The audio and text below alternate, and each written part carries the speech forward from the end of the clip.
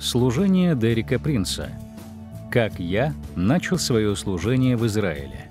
Часть первая.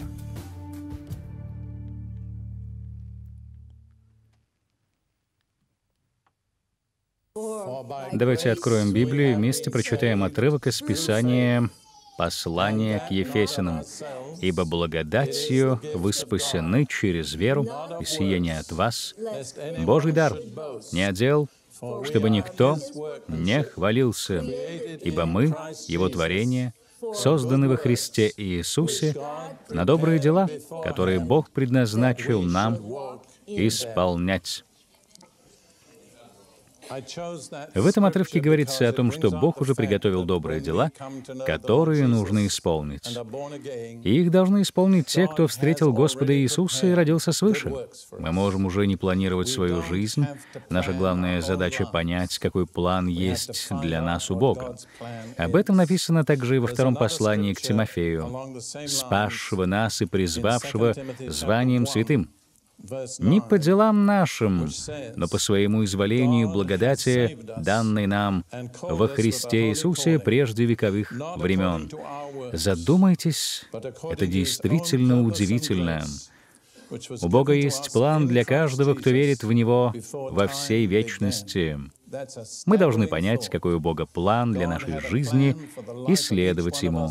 Павел в 15 главе послания к римлянам писал, ибо не осмелюсь сказать что-нибудь такое, чего не совершил Христос через меня. Павел хочет говорить только о делах Христа в его жизни.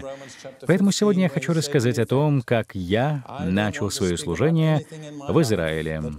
Это было на сто процентов проявление Божьего суверенитета и Божьей воли в моей жизни. Я принадлежал к интеллигенции, к евреям и не имел никакого отношения. В то время я преподавал философию в Кембридже. Я специализировался на греческом, латыни и античности, поэтому об Израиле культуре и истории евреев, а также о Ближнем Востоке вообще я практически ничего не знал. В одних дисциплинах я прекрасно ориентировался, а по другим совсем ничего не знал. Когда началась Вторая мировая война, если, конечно, вы верите, что в те времена жили люди, меня призвали в армию. Тогда у меня была одна забота. Я не мог решить, что мне взять с собой почитать. Тогда вся моя жизнь была в чтении книг. Ну, конечно, другие интересы у меня тоже были, но о них я говорить не буду. Книгам они не имеют никакого отношения. Я подумал, считается, что я должен преподавать философию, но я практически ничего не знаю о самой важной, самой читаемой книге, способной изменить жизнь человека. А что же это за книга? Я думал о Библии. Несомненно, это самая читаемая и значительная книга во всей истории человечества. Поэтому я решил, что как философ я просто обязан изучить Библию. В армию я взял с собой новенькую Библию в черной обложке, старый вариант короля Яковым. Когда я начал изучать ее, я думал о том, как же правильно это делать и пришел к выводу, что это такая же книга, как и все остальные. Нужно просто читать ее от начала и до конца. Так, в свою первую ночь я, один из 25 новобранцев, сидя на кровати, открыл Библию и начал читать «Бытие 1.1». Однако я не учел, что человек, читающий Библию, в армии мгновенно привлекает к себе внимание. Я даже не предвидел такую реакцию. Я задачил всех, включая себя самого, ведь моя жизнь ни капли не была похожа на жизнь человека, читающего Библию. Я считал ее скучной и полной запретов. Но я еще не проигрывал ни одной книги. Поэтому решил, что и Библию прочитаю до конца. После девяти месяцев чтения я дошел до середины книги Иова. Если сравнивать с некоторыми так называемыми христианами, мои дела были не так уж и плохи. Но внезапно произошло то, что полностью преобразило мою жизнь. Опуская подробности, скажу, что посреди ночи в армейской казарме произошла моя встреча с тем, кого я раньше не знал. Я особенно хочу заострить внимание на следующем моменте. Я помню, что в ту ночь, когда я не понимал, как и кому молиться, я неожиданно ощутил чье-то пребывание. Я не видел, кто это, но я ясно осознавал, что нахожусь в контакте с ним — я также понял, что через эту нашу встречу решается моя судьба. Я отчаянно желал Его благословения и сказал, «Не отпущу тебя, пока не благословишь меня». Лишь эти слова я и повторял снова и снова. «Не отпущу тебя, пока не благословишь меня». Потом я почувствовал, как на меня сошла Божья сила. И это ощущение продолжалось больше одного часа. На следующее утро я проснулся другим человеком. Я ничего не обещал себе и не принимал никаких решений, просто что-то изменилось внутри меня. У меня ушло несколько месяцев, чтобы осознать все те изменения, которые произошли во мне за одну эту встречу. Как оказалось, находясь в этом присутствии, я произнес те же слова, которые Иаков сказал ангелу, когда они боролись. История о переломном моменте в жизни Иакова описана в 32 главе книги «Бытия». После более чем 14 лет странствий Иаков возвращался в землю, которую Бог обещал дать ему. Но прежде чем войти в нее, он должен был встретить этого ангела — так же, как и в моем случае, это определило его судьбу. Кроме того, Иаков должен был встретиться еще и со своим братом Исавом. В прошлую их встречу Исав собирался убить его. Если говорить об историческом плане, здесь есть иносказание. Эта встреча символизировала возвращение еврейского народа в обетованную землю. В истории с евреями также есть две фигуры, с которыми им пришлось столкнуться. Во-первых, это таинственный противник Иакова. Я расскажу вам, кто это. И, во-вторых, Исаф, его брат. Хочу сказать, что при встрече двух братьев эмоции били через край.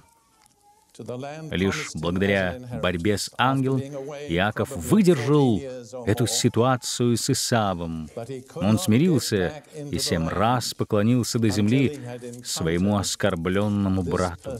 Отношения были восстановлены. Лично я верю, что что-то подобное должно произойти и с Божьим народом, с Израилем. Им предстоит встретиться сначала с незнакомцем, а затем решить вопросы со своим оскорбленным братом. Позвольте зачитать вам несколько слов о встрече Иаковы ангелы. В Библии написано «И боролся некто с ним до появления зари.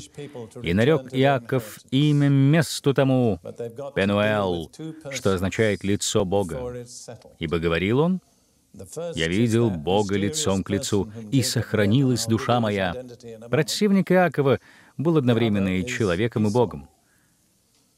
В конце своей жизни, благословляя сыновей Иосифа, Иаков вновь упоминает об этой встрече.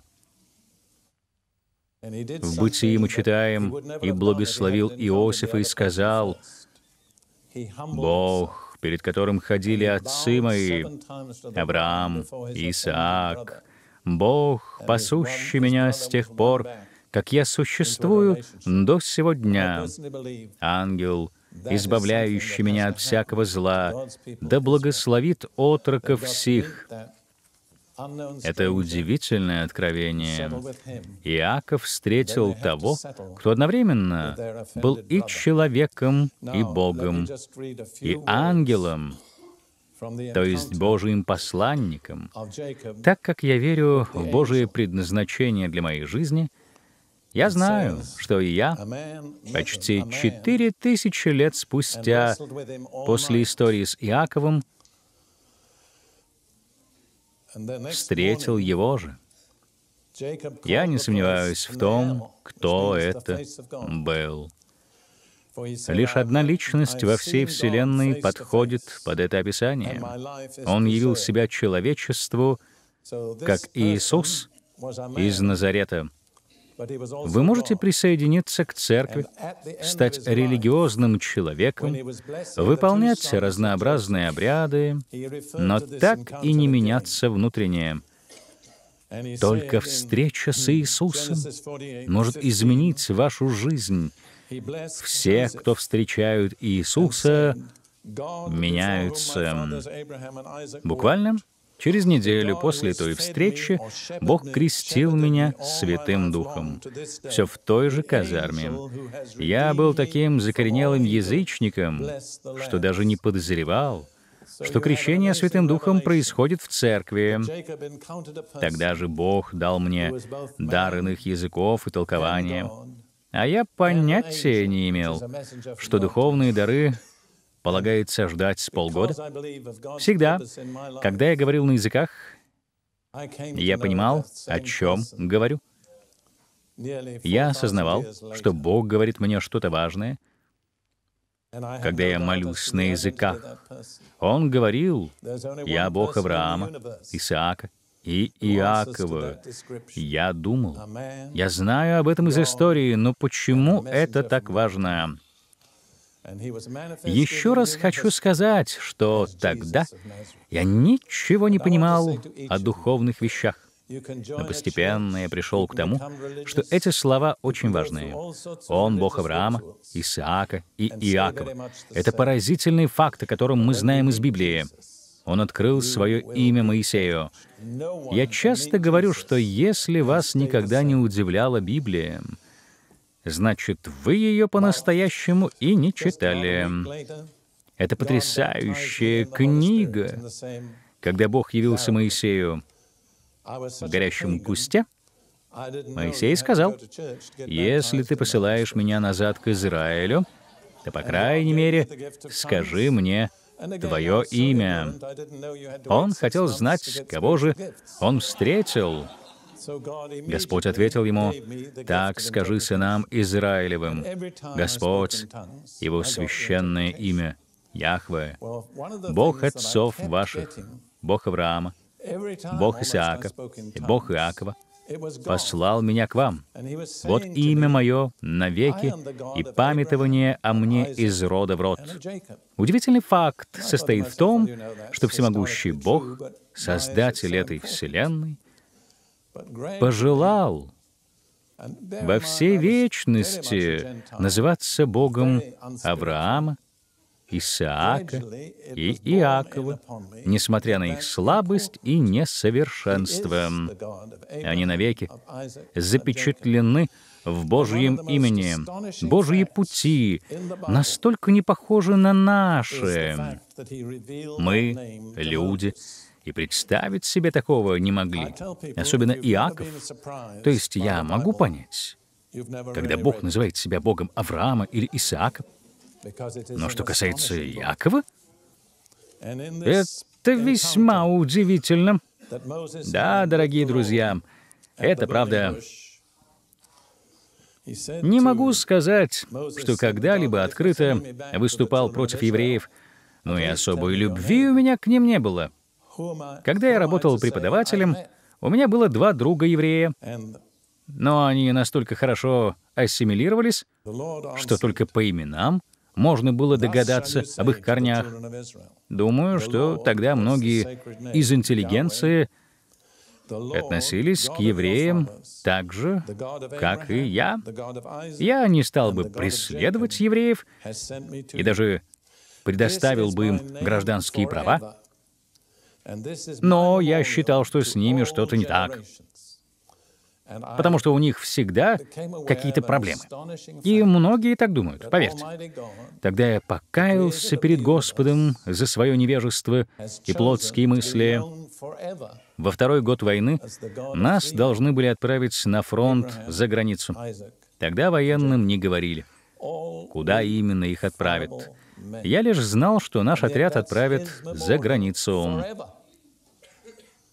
В то время я подружился с замечательной семьей верующих, из Пятидесятнической церкви. Они приняли меня, когда никто не хотел меня принимать. И именно через них я узнал Господа. Я рассказал им, что в моей голове всегда крутилось слово «Палестина», вплоть до 48 года.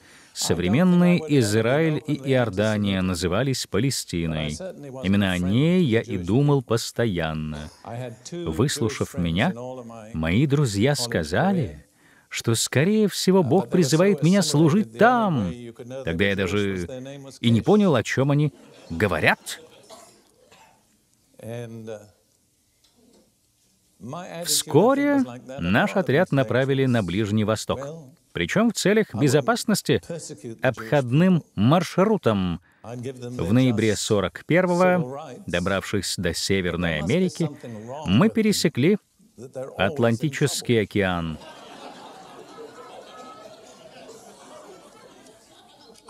Далее, через мыс Доброй Надежды и вдоль восточного побережья Африки — мы подошли к Суэцкому каналу. На месте нас ждали свежие новости. Японцы совершили налет на Перл-Харбор. Мы решили, что это к лучшему, потому что это значит, что американцы примут нашу сторону. Следующие три года я служил на Ближнем Востоке, в пустынях Северной Африки. Я считаю, что время в пустыне — это важная, неотъемлемая часть воспитания характера. Кажется, я знаю, почему Бог вел израильтян к обетованной земле через пустыню. У многих из нас, и у меня тоже, есть разные нереалистичные ожидания и мечты. А в пустыне с вами остаются только самые необходимые вещи. Вы понимаете, что вам действительно нужно не так-то и много. Вода, еда, кров над головой и средства передвижения. Вот что действительно важно. К тому моменту я уже твердо верил в Библию, но у меня не было никакого общения с христианами. К сожалению, за все время там я не встретил ни одного действительно верующего капеллана. Несмотря на то, что я каждый день читал Библию, ни один капеллан не подошел ко мне с предложением помочь. Все те три года я продолжал читать Библию, и хотя я не общался ни с кем, один важный поворотный момент помог мне возрасти в вере. После девяти месяцев в пустыне, за которые я отвык от асфальтированных дорог и воды, мне дали увольнительную, и я мог провести в Иерусалиме целую неделю. У меня были такие ощущения, как будто бы я попал из ада в рай. Помню, когда я увидел воду и зелень. Я от радости забыл про все на свете. Когда я был уже в Иерусалиме, мне в голову пришли строчки из одного псалма. В 101-м псалме очень ярко и красочно описано будущее возрождение Сиона. Также там говорится и об Иерусалиме ибо рабы твои возлюбили и камни его, и о прахе его жалеют.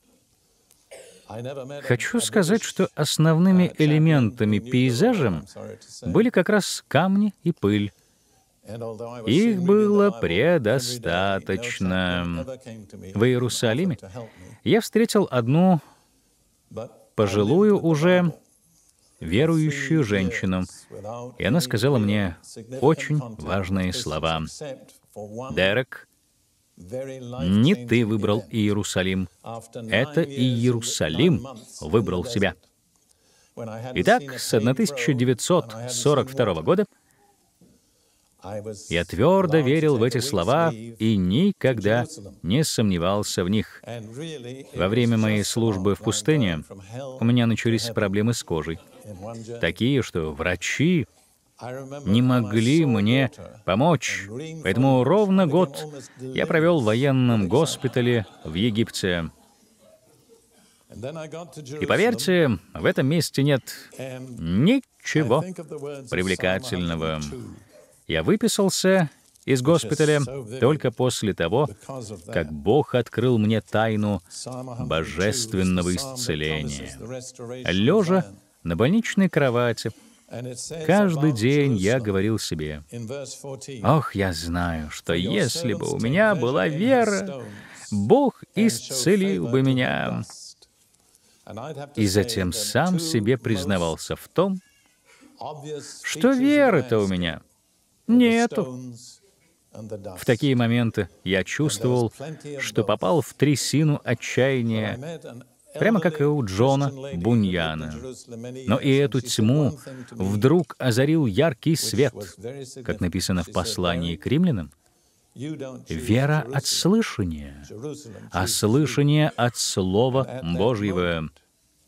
Я размышлял над тем, откуда приходит вера, и хочу донести эту мысль до всех вас сегодня. Если у вас нет веры, вы можете получить ее. Она приходит от слышания Божьего Слова. Я решил прочитать Библию снова, на этот раз вооружившись синим карандашом. Я выделял все места, где говорится об исцелении, о здоровье, физической силе и долголетии. И знаете, что из этого получилось? Моя Библия вся стала синей. Я твердо верил, что Бог желает исцелять. есть одно место в Писании, которое поставило меня на ноги. Это четвертая глава книги «Притч». «Сын мой», — сказано здесь, — «словам моим внимай, и кричам моим преклони ухо твое, да не отходят они от глаз твоих, храни их внутри сердца твоего, потому что они жизнь для того, кто нашел их, и здравие для всего тела его». Тогда я подумал, даже философ не может увидеть в слове «тело» какой-либо другой смысл, кроме самого прямого. Кроме того, для того, чтобы выздороветь, нужно принимать лекарства. Об этом знает каждый. Я, конечно же, об этом тоже знал. Поэтому я решил — что Слово Божие будет моим лекарством. Я знал, как нужно правильно принимать лекарства, поэтому решил, что с Библией буду поступать так же, читать ее три раза в день после еды. Так я и делал в течение трех, а быть может и четырех месяцев. Затем меня перевели в Судан, где был самый неблагоприятный климат. Я перестал принимать таблетки, но, несмотря на это, лекарство Божьего Слова полностью исцелило меня. Бог провел меня через такую школу Духа. В Судане я оказался в маленьком военном госпитале в пустынной и непривлекательной местности. Кроме того, я был окружен суданцами. Все вокруг говорили на арабском языке и исповедовали ислам. Но Бог дал мне сверхъестественную любовь к этим людям — Вообще любить их было нелегко. В их жизни и культуре меня очень мало что привлекало. Благодаря этой любви и Божьей благодати я привел Господу человека из племени Хадандова. Он стал первым в своей общине, кто когда-либо исповедовал веру в Господа Иисуса Христа. Но Бог не поставил меня служить конкретно этим людям. Его целью было подготовить меня к служению евреям. Как хорошо мы не относились бы к евреям, нам всем очень важно понимать, что Бог любит все народы и абсолютно всех людей. Прошу прощения, если кому-то это покажется слишком категоричным, но я уверен, что еврей получает рождение свыше тогда, когда начинает любить другие народы. Итак, прошло ровно три года. После этого меня перевели на базу в Палестине. Там я жил в крошечном больничном корпусе в одной маленькой деревушке, которая сейчас уже является частью Хайфы. Она была на севере Хайфы.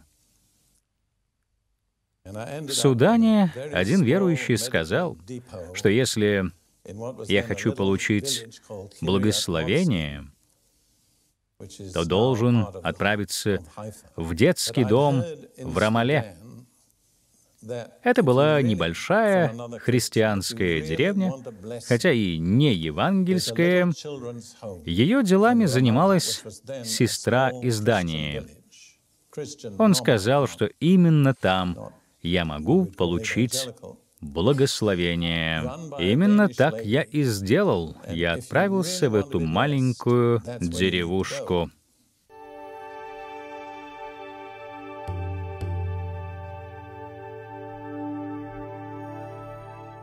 Если вы желаете получить информацию о дальнейших учениях и ресурсах, доступных в нашем служении в Великобритании, свяжитесь с нами и закажите новый гид по ресурсам нашего служения. Позвоните нам или посетите наш сайт www.dpmuk.org. Также вы можете написать нам по адресу, который вы видите на экране. Мы вам рады.